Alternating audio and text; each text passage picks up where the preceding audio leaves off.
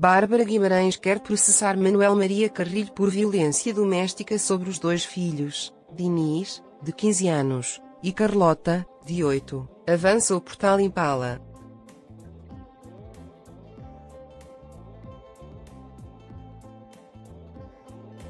Em causa estão as imagens divulgadas pela TVI e inseridas numa reportagem coordenada por Ana Leal que mostram o antigo ministro da Cultura a entregar os filhos à apresentadora da SIC num ambiente de agressividade.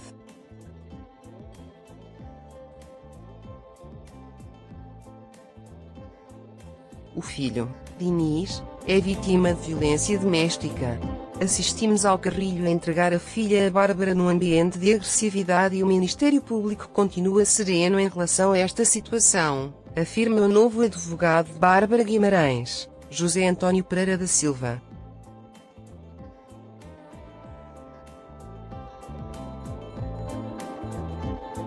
Saiba mais aqui. Ponto. Filhos assistiram a agressões. Ponto. Segundo o acórdão do Tribunal da Relação, Manuel Maria Carrilho mostra uma enorme indiferença para com a integridade física e psicológica dos filhos, sendo agressivo, hostil e violento na presença das crianças, acabando por colocá-las também como vítimas de violência doméstica, uma vez que assistiram a todos estes momentos de confronto entre os pais.